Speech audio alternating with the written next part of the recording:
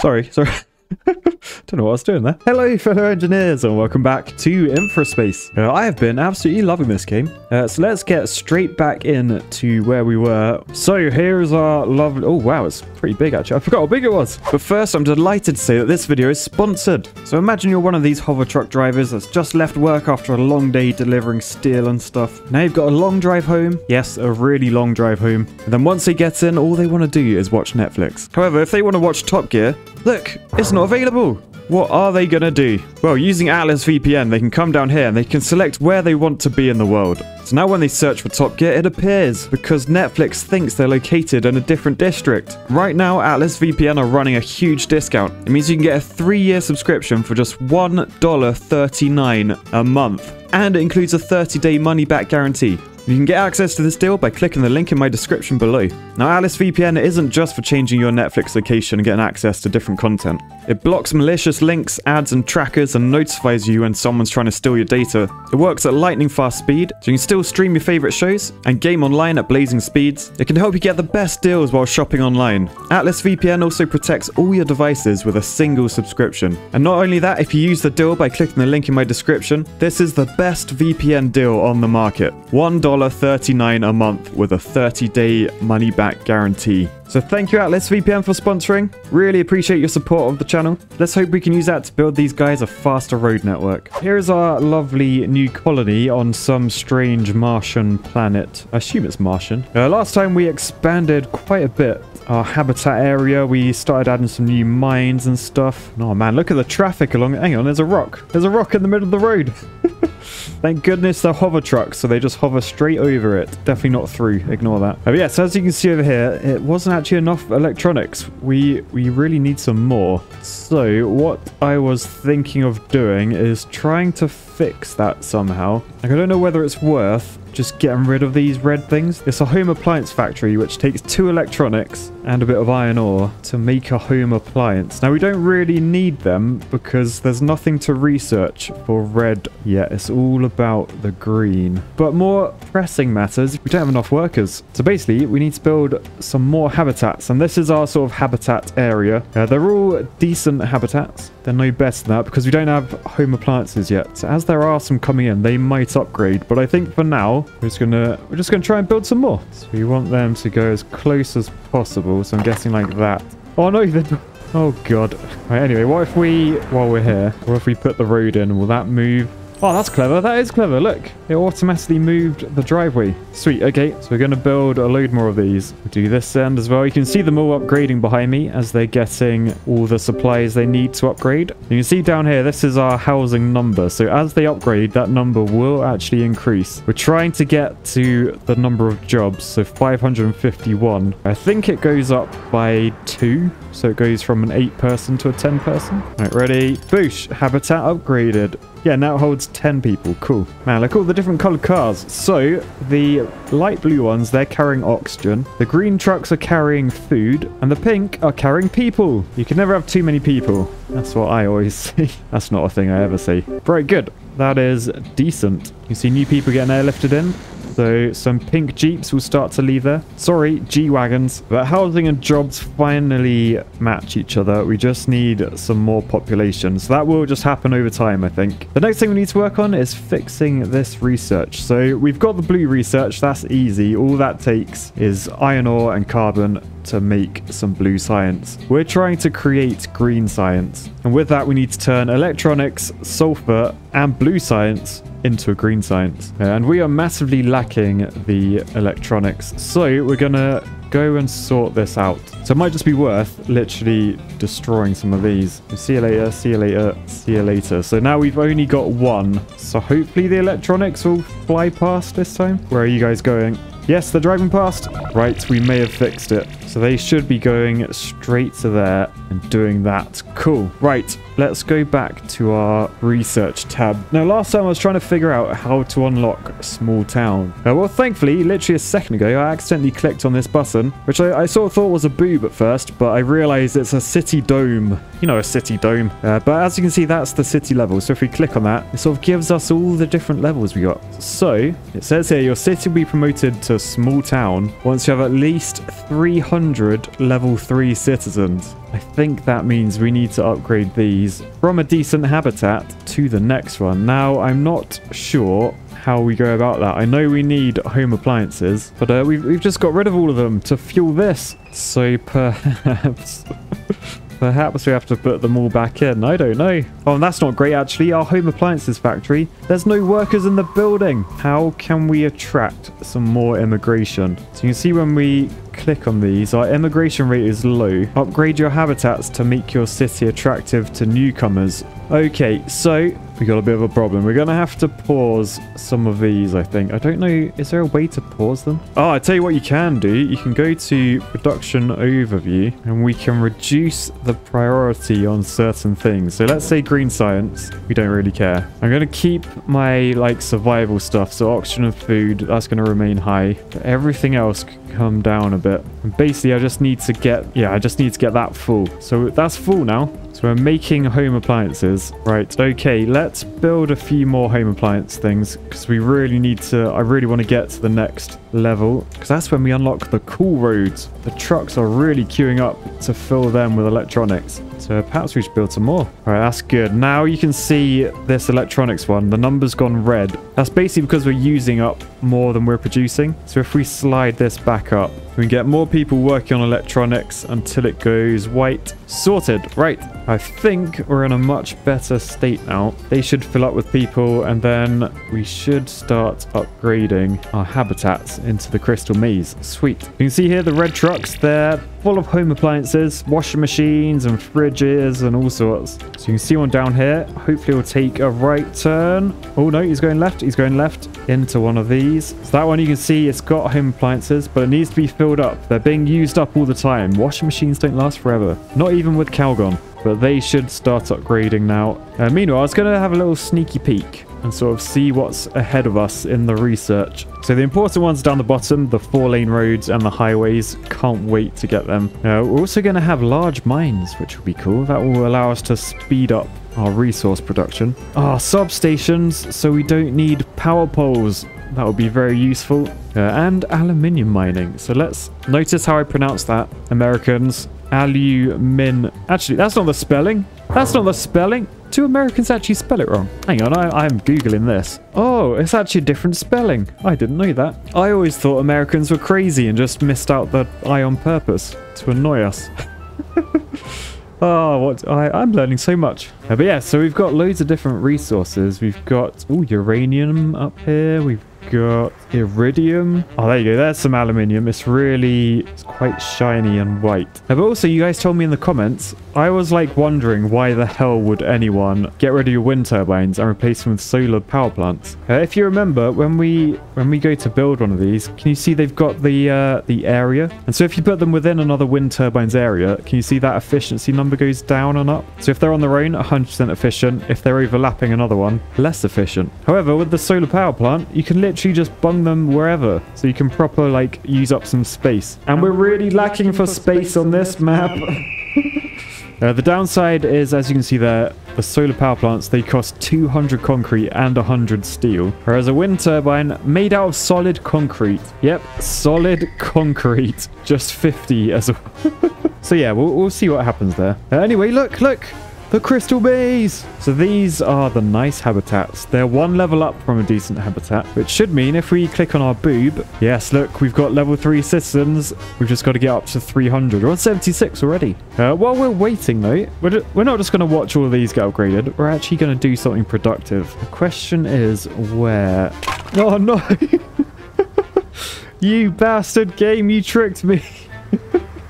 I thought that was going to be a straight line. All right, there we go. Our very own Hollywood signs. Reminding people of the 11th commandment of my colony. And look, even more good news. We've just leveled up to level 3. We are now a settlement. Uh, however, bit of an emergency. We are out of power, so I'm going to add a few more wind turbines. I think that's because these crystal mazes, because you got to get like the fans blowing all the notes into the air and stuff. Now, I think they use up a bit more electricity, maybe. Meanwhile, let's go have a look at our research. Oh, we're not a settlement. We were a settlement. Now we're a small town. That sounds much more impressive. Yeah, so loads of things to research. Obviously, first things first, we're doing the roads. So four lane roads are going to take blue science and green science. So if we have a look down here. Oh, wow, that's a lot of traffic. That is a lot of traffic. I tell you what, I might move my science lab. Oh, look how horrible that corner is. As an engineer, I hate that. Very multicolored though, this road. But now all the research is left. You can see all the carbon is being restocked. So nice. And speak of nice, what do we need to upgrade our nice habitats? We need computers and parks. Interesting. So if we research, we got computers that we can upgrade soon. Where are parks? So I love that stadiums come before schools. Crew education, we want to watch our football. Ah, it's in large buildings. We can unlock that pretty soon then. Okay, so we just need those two to unlock the next citizens to get the large town. That makes sense. So jobs hasn't gone up. We've now got some orangey stuff. I think that's because we're not producing enough of them. So since we have loads of people, I think we need to just upgrade this. And we can't really do anything here. We're sort of at the limit. I don't think we can fit any more mines in. Uh, so in order to make more electronics, we're going to have to find another load of copper and another load of iron somewhere else. Ideally with the sign in range. All right, so just behind this actually, I've, I've found there's a few copper ore pockets. There's a few iron ore pockets. It might be worth trying to thread a road to connect onto this one. So let's go from the edge of this iron ore. We're going to use our super fast one. I think we're just going to do one way through here. And then we're going to be running parallel, but that's because we want to connect into there. Oh, look, we've unlocked four lane roads. So that will probably come in useful very, very soon, actually. So let's say hooray to that and then unlock the highways. That's what I'm really excited about. Get some more speed. So yeah, now we've unlocked these and this is the one that I wanted because down here we've got two lanes merging into one basically. But I put that one in it's a two-way road because I was going to replace it with this one and now it's unlocked. We should just be able to click on that say replace road and then do that. So now we've got everyone just going down there and we just need to continue fixing that. So it's all one direction but two lanes now. Right that's looking a lot better. Look at all that traffic. It is good. Uh, meanwhile I think I'm going to replace these with just a one way these don't need to be two ways. Oh no they're all facing the wrong direction. Bollocks. Reverse road, that direction. There we go. So we get into there and then disappearing, apparently goodness, look at all the trucks. There's so many trucks. It's like a land train. I love that they hover as well. So clever, that technology. Uh, meanwhile, we're going to do the same for this side. Yep, so now everyone's going that way. Look at all, look at all those trucks. Beautiful. So that's just a bit neater. And then over here where we've done this, we're going to fill this up with new mines. So we're basically just going to put these at the smallest spacing we can. Lovely. And then we just need some power. And because I'm stingy, I'm just going to do a windmill, which is surrounded by cliff faces, so I'm sure it's a lot down there.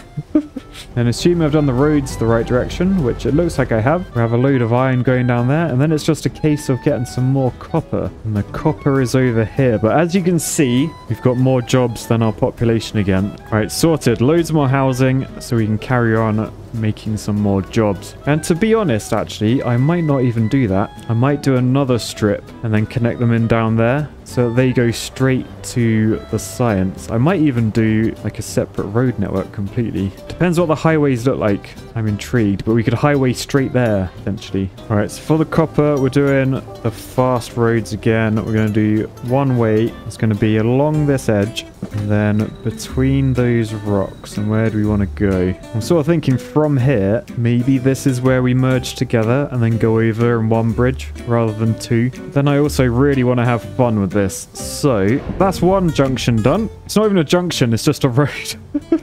right, and then this one will come down to here, and then this will be a doubler So replace road like that. Lovely. And then along this road, a load of new electronics factories. Once I straighten it up a bit, it's a bit on the wonk at the moment. Oh, and would you look at that? We've unlocked highways. Hooray! So I think highways is this three tab. Yes, they're black roads, but they cost steel. Although we do have a thousand steel now. So we could upgrade some of these, although I do want to sort of just see how much faster they are. Uh, but anyway, anyway, before we get into that, we got to select something else to research. I think we'll do power substations, because then we can stop using power poles, because that they are quite annoying. They're quite ugly as well. Uh, not, that, not that I care about looks. That would be an architect thing to do. Uh, but yeah, down here we want electronics factories. All right, so let's just start with eight. We'll add a power pole to cover those. Uh, we're producing 60 megawatts. We only need 32, so that is lovely. Apparently these guys aren't getting iron. Where's the... there's the iron. Look at that. What a sight that is. There's so many trucks And with the sign in the background too. I love it. I love it. Uh, I mean, we haven't actually done the copper yet. Oops. All right, so let's get the copper mines in. Right, sorted. So now we should be making copper, and hopefully that will travel along this road. Yes, they're traveling along this road. And look, these iron ones, they've finally made it. Oh man, that's such a good sight. that could be the thumbnail. That could be the thumbnail. So these guys are now just waiting for the copper to arrive. And basically because I built these a bit too late, they're going to take a while. They're going to have to go all the way around. But that's good. That means we've now got a load more electronics. So from there, we're doing highway two lane one way i sort of want it to run parallel with this one just so we can compare the speed. We can connect that in and look at these roads. They've got like proper full-on safety barriers. Oh man this is beautiful. Look at all the traffic on there. All on the different levels. That's so cool. Look at it. Look at all the different levels. It's all snaking all over the place. But uh, this is the guy in first place He's coming around the final few bends. Right, and there they go straight down into the electronics factories. And then we're going to see how fast the highway is. All right, ready? Our first one's leaving. Oh, it is off. It is off. Right, if we get ready over here, we should be able to do some comparisons to see how fast it is. Look, those two are pretty on... Oh, holy crap, it's so quick. It's so much quicker, the highways. Look at my sign. Look how good it is. okay, wow, yeah, highways highways are the thing to do. Look at that green guy move. So he canes it around there and he's overtaken everyone. But then we have a crossroad. Really, really not ideal. So what if we delete those two? And then with this road, we go over and back down. Then we've got a little bridge for them. And then home appliances. They could go all the way around that way. But it's probably worth doing a little sort of junction over. So we can say go over here and connect in down there. Now we just need to have a little bit of a wiggle. Right, and there we go. And then the reds should come off there and go around and they'll head down that way. But nice, that is looking good and efficient. And it looks like a knob. I didn't even mean to do that. Nice, that is a very strong junction design. Oh, have I just worked out something? I feel like they're not filling up because they're not part of a district? Do I just need to extend them? Is that all I did wrong? Please don't tell me I've just spent this whole episode doing that for no reason. If there's a load of green trucks leaving. Oh my god, look how many green trucks there are. that was the reason we weren't sending enough electronics there because they weren't in the district. Oh, you couldn't write. You couldn't write that. You could not write that. Although, what are you waiting for, mate? They're literally all just going round that one guy. You are an architect of a truck driver. You knobhead. What if we click... Oh, look, that's why. There's some traffic management going. Oh, it's because it's... I've just realized that's two-way. Yeah, we could use that one. The big boy road. Can we replace? Oh, we can replace. Okay, so we got big boy roads in there. So we can sort the traffic management here out. You go into that lane. You guys go into that lane. That's a dead end. Yeah, so both of those just go into one lane. So we got four into two, which isn't great. We could do with unlocking some more, but that should be fine because then all these guys can come up. Let's just check all these junctions are fine. So I'm going to make this one go straight ahead as well. So they got a choice. Uh, down here, we're not going to let them do a left-hand turn. It's right only. Tell you what, there's a lot of traffic down here. I might do... Where does the carbon come from? It comes from these.